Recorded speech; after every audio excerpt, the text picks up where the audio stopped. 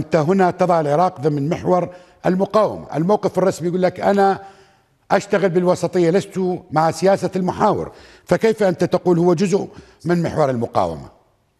لا طبعا العراق لا يريد أن يتماشى مع أطراف ضد طرف آخر لكن كسياسة استراتيجية للعراق سياسة الرئيس سيد دولة السيد محمد الشيعة السوداني حكومته البرلمان الشعب العراقي الحركات المقاومة الموجودة في العراق المرجعية العليا كلها ضد الكيان الصهيوني ومع المقاومة الفلسطينية واللبنانية. تمام. وهذه ومواقف مسجلة. نعم. فلذا أنا أن الأمريكان خانوا العراق.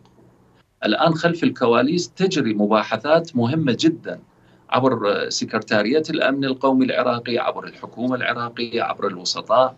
بأن الأمريكي خان العراق وأنا أعتقد أنه لم يعلم العراق بذلك لأنه ما, ما في ضرورة لقبول العراق لمثل هذا التعدي الخطير ضد الجمهورية الإسلامية الإيرانية.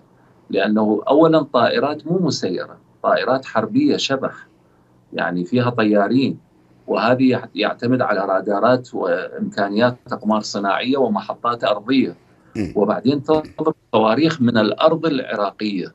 يعني لو ضربت لنفترض تأتي مسيرة مباشرة أو صاروخ من الكيان الصهيوني عبر الأجواء العراقية يختلف جدا عما يأتي طيار ويقف ويس وي ويحدد أهدافه من من داخل الأراضي العراقية ضد أهداف الجيران وأهداف في إيران. فلذا أنا أعتقد هذا الأمر يختلف كليا. لذا أنا أعتقد الأمور معقدة جدا والآن خلف الكواليس تجري مباحثات مهمة بين بغداد وطهران من جهة وبين بغداد وجهات خاصة الجهة الأمريكية لأنه الأمر ملتبس وإذا ثبت انه عين الأسد أو بعض القواعد العسكرية الأمريكية كان لها يد في هذه المساعدة أعتقد الأمور ربما تتغير.